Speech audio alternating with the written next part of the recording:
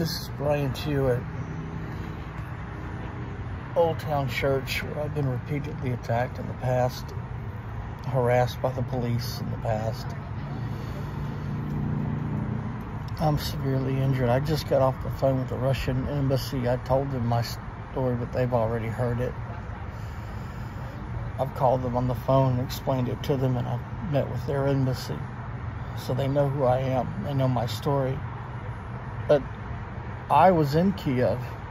I was in Kiev twice in Ukraine, and I was attacked with these weapons at the airport in Ukraine. These are neuro weapons. These are not bioweapon bioweapon labs. They're neuro weapons.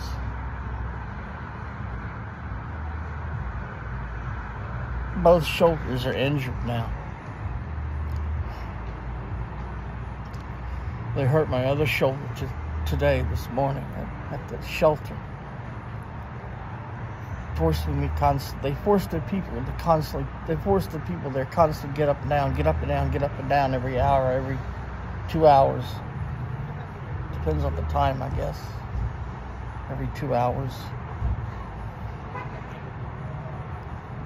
But I'm disabled when I try to put all my weight on my left shoulder, which was already injured. It just made it worse. I told them I was disabled. They still made me get up. They're informant provocateurs. They're police informants, locals used by the local, state, and federal government against targeted individuals.